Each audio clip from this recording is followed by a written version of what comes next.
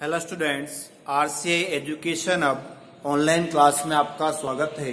प्रिय विद्यार्थियों आज की क्लास में कृषि रसायन का लेसन नंबर छह अम्ले तथा लवण प्रभावित मृदाएँ डिस्कस कर रहे हैं, जिसमें अम्लीय मृदा बनने के कारण टॉपिक अपन बात करेंगे। इसका बी पार्ट मतलब टॉपिक में टोटल पाँच कारक थे। उन पाँच कारकों में से अपन ने तीन कारक पिछली क्लास में पढ़ लिए और बच्चे हुए दो कारक अपन आज पढ़े उनमें से जो आपका आज की क्लास का पहला कारक है, वो है अम्लीय उर्वरकों का लगातार प्रयोग। अम्लीय उर्वरकों का लगातार प्रयोग करने से क्या होता है, मृदा अम्ले हो जाती है। अब देखो, सामान्यतः अपन जो उर्वरक काम में लेते हैं, कौन से हैं? यूरिया, अमोनियम सल्फेट और अमोनियम नाइट्रेट।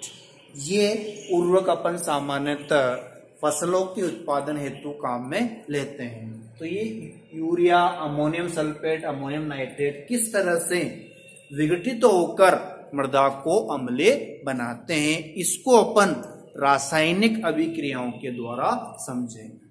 ये आपका टॉपिक इंपोर्टेंट है और यहाँ से क्वेश्चन आपका बनता है। किस तरह से अम्लीय उर्वरकों का लगातार प्रयोग करने से मृदा अम्ले हो जाती है, रासायनिक अभिक्रियाओं के द्वारा समझ समझाइए बिल्कुल ध्यान से समझिएगा, बहुत इजी रासायनिक अभिक्रिया है। तीनों में आपको तीन अभिक्रियाएँ कॉमन मिलेगी। जो तीनों के अभिक्रिया पढ़ेंगे, वो तीन अभिक्रिया क्या मिलेगी? आपको कॉमन मिलेगी। देख, कैसे मिलेगी? देखो आप। एक एक की बात करते हैं अपन। देखो।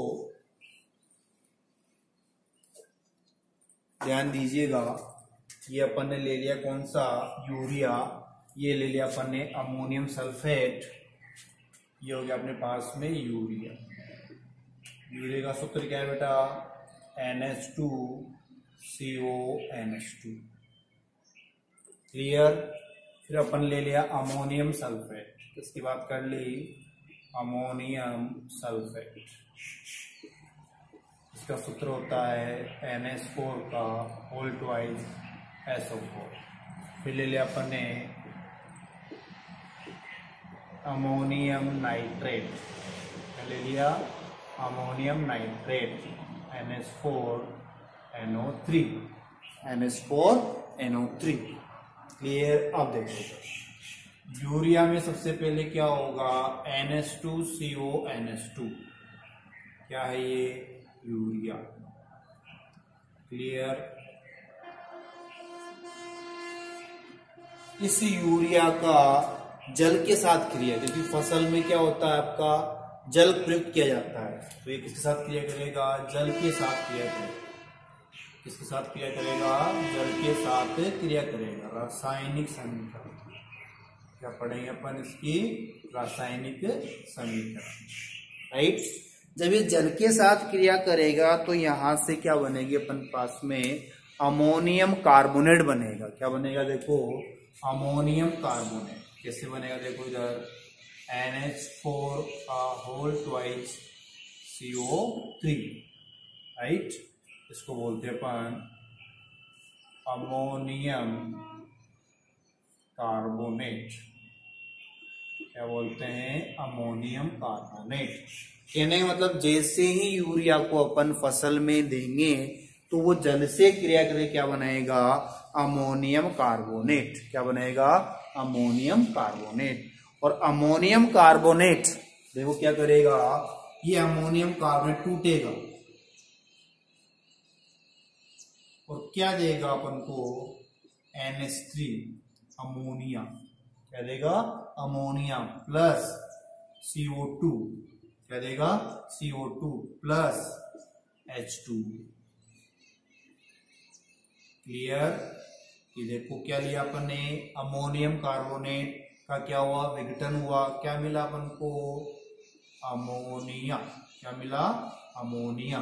सीओ टू और एच टू क्लियर अब ये अमोनिया किसके साथ क्रिया करेगी? ध्यान दो इधर। ये अमोनिया क्रिया करेगी जल के साथ में। इसके साथ में? जल के साथ में। और यहाँ बनाएगी आपके NH4OH क्या बनेगा? NH4OH राइट अब ये NH4OH टूटेगा। क्या मिलेगा अपन को? NH4 plus plus OH minus. क्या मिलेगा? NH4 plus O H minus. इसका मतलब क्या हुआ? देखो बेटा, ध्यान से समझो कि यूरिया ने जल से क्रिया की, क्या बनाया? Ammonium carbonate. अमोनियम कार्बोनेट टूटा, क्या बनाया? अमोनिया। अमोनिया ने जल से क्रिया की, क्या बनाया? Ammonium hydroxide. क्या बना? Ammonium hydroxide. और अमोनियम हाइड्रोक्साइड टूट के क्या बना रहा है? Ammonium ion. क्या बना रहा है? अमोनियम आयन तो अब ये जो अभिक्रिया हुई है, ये पर्टिकुलर किसकी हुई आपकी यूरिया की।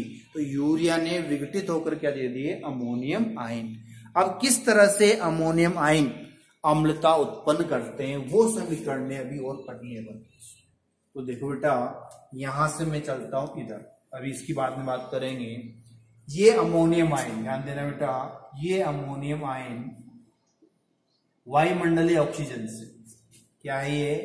Ammonium ion ammonium ion clear इससे वायुमंडल ये ऑक्सीजन से क्रिया करते हैं। क्रिया करके क्या बनाएँगे देखो?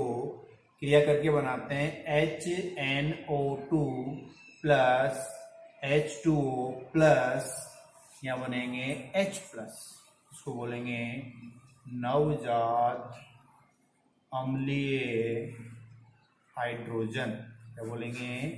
नवजात अम्लीय हाइड्रोजन। क्लियर बैलेंस कर लो यहाँ पर। अगर मैंने यहाँ पे दो ले लिए तो यहाँ भी क्या लगाऊँगा मैं? दो। क्लियर आठ हो गए, दो यहाँ पे, दो यहाँ पे। चार। चलो यहाँ पे दो ले लेते हैं। दो दूनी चार, दो छः ये तीन हो गए। राइट अब कितने हुए? दो चार, दो छः और दो होगी बैलेंस कोई दिक्कत है? इसका मतलब देखो अमोनियम आयन ने अपन को क्या दे दिए? नवजात अम्लीय हाइड्रोजन क्या दे दिए? नवजात अम्लीय हाइड्रोजन क्लियर और नवजात अम्लीय हाइड्रोजन अब कहा क्लियर करेंगे बेटा? देखो इधर। ध्यान दो।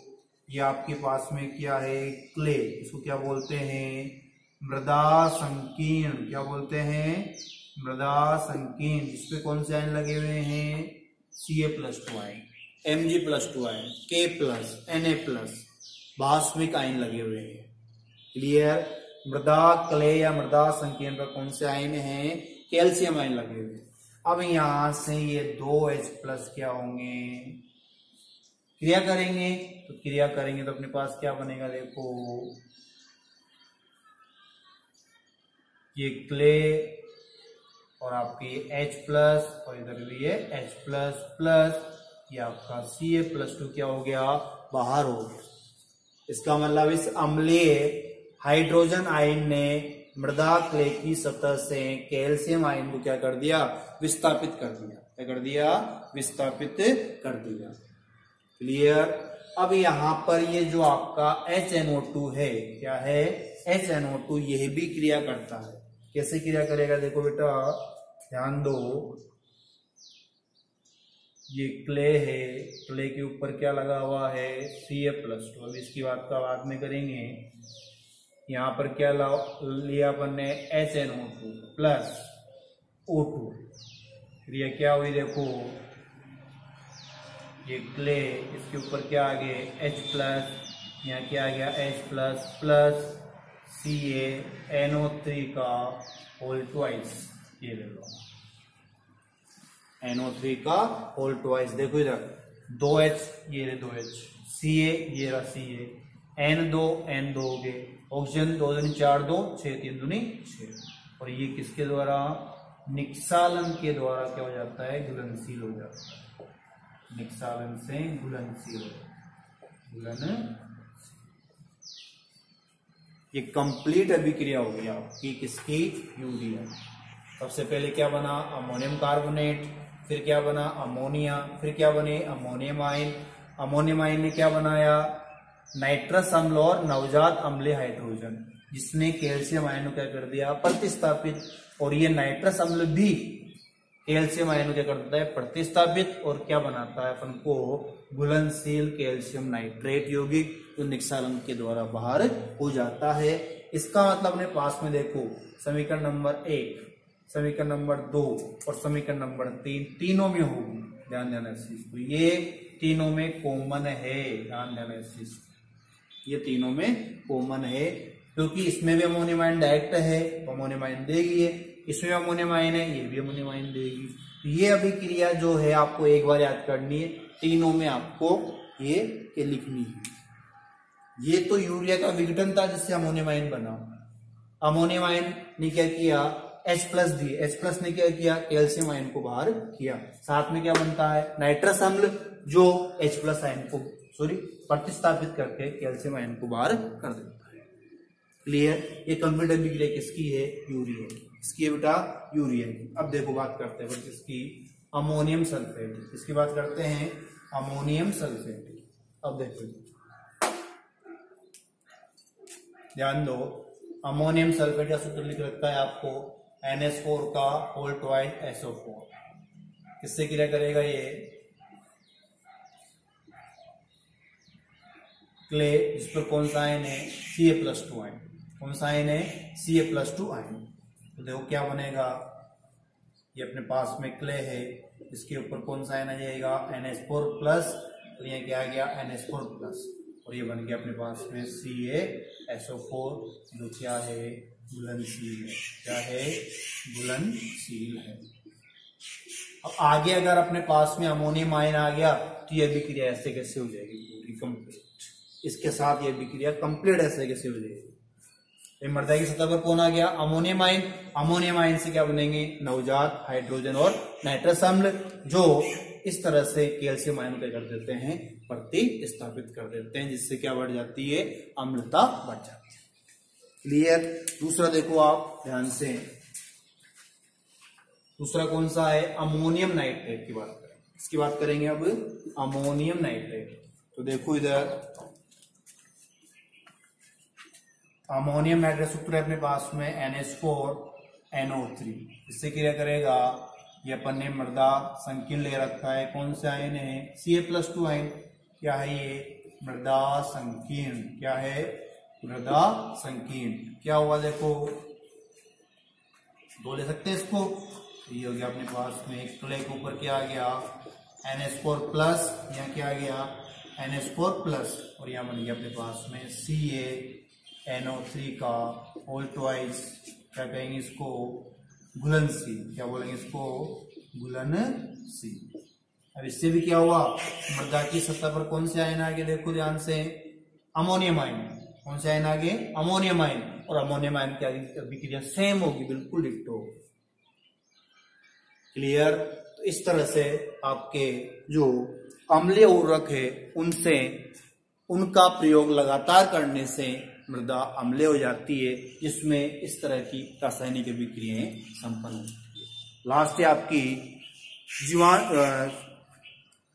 सूक्ष्म जैविक क्रियाएँ। इसकी बात करेंगे अपन? सूक्ष्म जैविक क्रियाएँ। सूक्ष्म जैविक क्रियाओं में क्या होता है बेटा? सेम वही जीवांश पदार्थ वाले भी क्रिया जाएगी उसमें लगातार क्या होते हैं? विघटन से अम्ल बनते हैं। क्या बनते हैं? अम्ल बनते हैं और वो अम्ल लगातार भास्मिक आयन नो को प्रतिस्थापित करते रहते हैं, जिससे भास्मिक आयन की कमी हो जाती है और अम्ल आयनों की वृद्धि हो जाती है। इस तरह से मृदा क्या हो जाती है? अम्ले हो जाती है। क्लियर बेटा? इस वाले टॉपिक में आपको ये अम्लीय उर्वरकों का लगातार प्रयोग किस प्रकार का होता है, रासायनिक प्रतिक्रिया कैसे होती है, ये आपको समझना बहुत इंपॉर्टेंट है। ये क्वेश्चन बनता है।